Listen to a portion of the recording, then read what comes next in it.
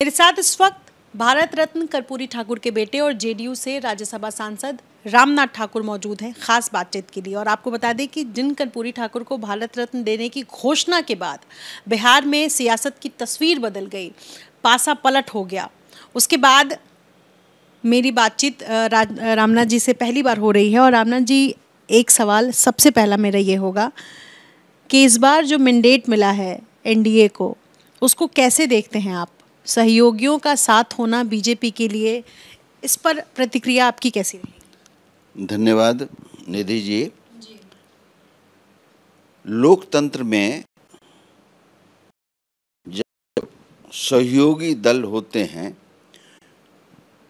तो उनके विचार उनके नियम उनके सिद्धांत अलग अलग होते हैं लेकिन एक समाज समान विचारधारा पर चलने के लिए जो अभी चुनाव संपन्न हुए हैं, जिसमें जनता दल यू और टीडीपी के लोग आए हैं, उसमें नरेंद्र मोदी जी को सहयोग करने के लिए, भारतीय जनता पार्टी को सहयोग करने के लिए ऐलान किया है।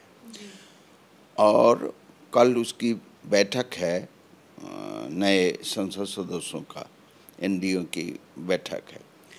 तो जो विचारों प्रांत, जो मेरे नेता, मेरे राष्ट्रीय अध्यक्ष, जो निर्णय किया है, उस निर्णय के साथ हम लोग हैं और हम चाहेंगे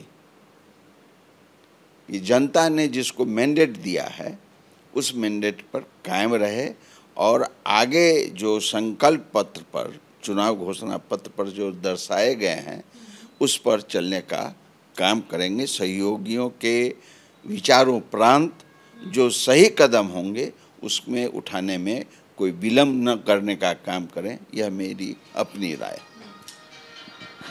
चूँकि आप जेडीयू से सांसद भी हैं, इसलिए ये सवाल है कि जेडीयू लगातार बिहार को विशेष राज्य का दर्जा देने की मांग करती रही है। और अब जब आपके पास मैंडेट है, आप इतने सांसद लेकर आए हैं बिहार से तो क्या आप चाहेंगे कि इस बार तो कम से कम मिल जाए कि इसकी भरसक कोशिश रहे? ये ये तो पहले से मांग चल मांगी जा रही है, लेकिन अब नए संदर्भ में हमारे राष्ट्रीय अध्यक्ष नीतीश कुमार जी प्रधानमंत्री से बात करके अपनी बात रखेंगे और उस उस पर प्रधानमंत्री जी विचार करेंगे और निश्चित रूप से नीतीश कुमार जी की मांगों पर ध्यान देंगे। जेडीयू से नेता हैं केसी त्यागी। उन्होंने कहा कि यूसीसी और अग्निवीर ये इससे नुकसान हुआ है और इसकी समीक्षा होनी चाहिए। ऐसा उन्होंने इच्छा ज़ाहिर की है। इस पर आपकी क्या प्रतिक्रिया? हम हम न उनकी इच्छा को जाने हैं और नहीं देखा है। लेकिन निश्चित रूप से वो जनता दलियों के राष्ट्रीय महासचिव हैं। तो और मुख्यमंत्री जी के सलाहकार हैं तो निश्चित रूप से जिन बिंदुओं पर उनका ध्यान गया है तो वो, वो भी विचारणीय विषय होगा उस पर भी विचार कर रहेंगे लेकिन ये तो जब बैठक होगी और बैठक के बाद ये अपने पूर्वीय नेता शीर्ष नेता इस पर विचार करने के लिए तैयार होंगे तो निश्चित रूप से इस पर विचार होगा और उसमें संशोधन होगा। होनी चाहिए। हो, होनी चाहिए। निश्चित रूप से होनी चाहिए। एक नैरेटिव सेट किया गया, ये मेरा सवाल बाकी जो सांसद जीत कर आए उनसे भी था और आपसे भी है, चूँकि आप राज्यसभा सांसद हैं। एक नैरेटिव सेट किया गया विपक्ष की तरफ़ से उत्तर प्रदेश में और बाकी राज्यों में इसका फ़ायदा भी हुआ कि संविधान खतरे में है। और इसका फ़ायदा विपक्ष को हुआ, समाजवादी पार्टी सीटें, सैंतीस सीटें जीत कर लाई या बाकी राज्यों में भी फ़ायदा हुआ है। बिहार में इतना फ़ायदा नहीं हुआ। क्या आप इसके पीछे वजह मानते हैं कि नीतीश कुमार का साथ होना बीजेपी के ये कहीं बहुत हद तक जो उनकी छवि है, वो बचा ले गया? आपने बहुत अच्छा प्रश्न किया है।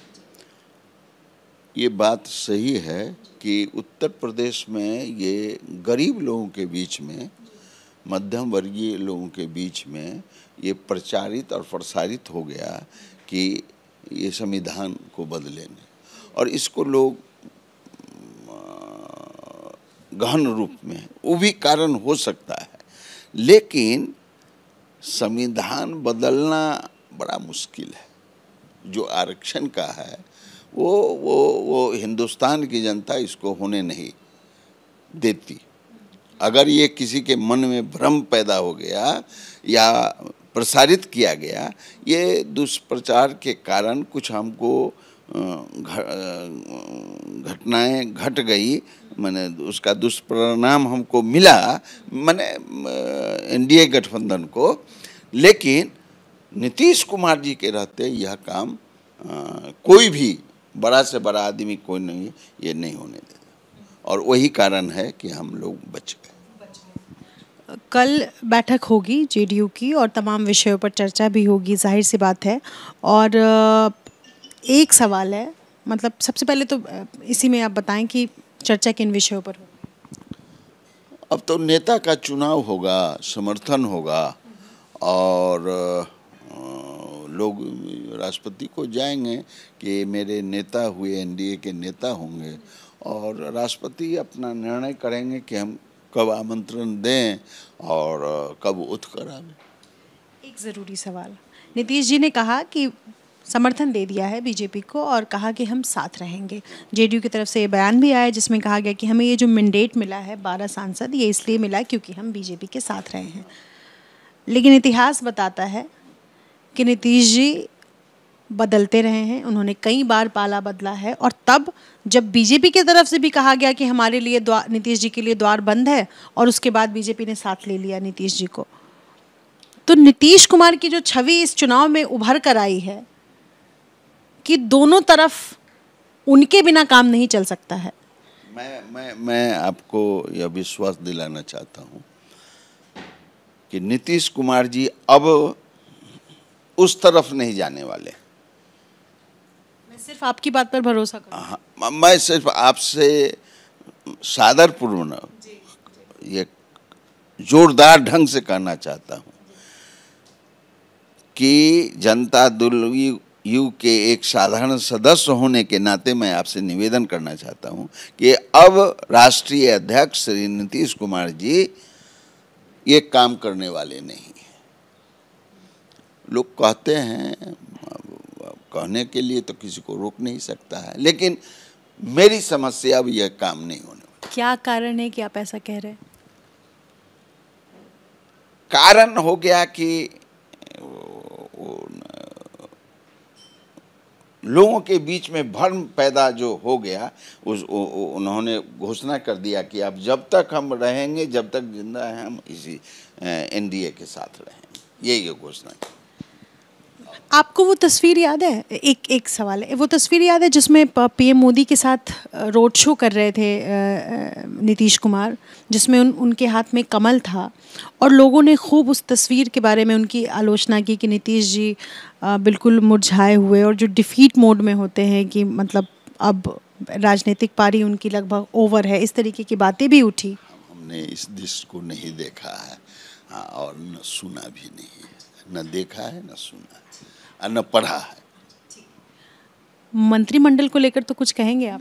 कुछ नहीं कुछ नहीं कुछ नहीं। उस शीर्ष नेताओं का निर्णय होगा जो हम तो साधारण आदमी हैं हमको क्या जो निर्णय करेंगे मुख्यमंत्री जी नीतीश कुमार जी वो वो उसको पालन करेंगे श्री नरेंद्र मोदी जी। क्या पता अचानक से कॉल आ जाए?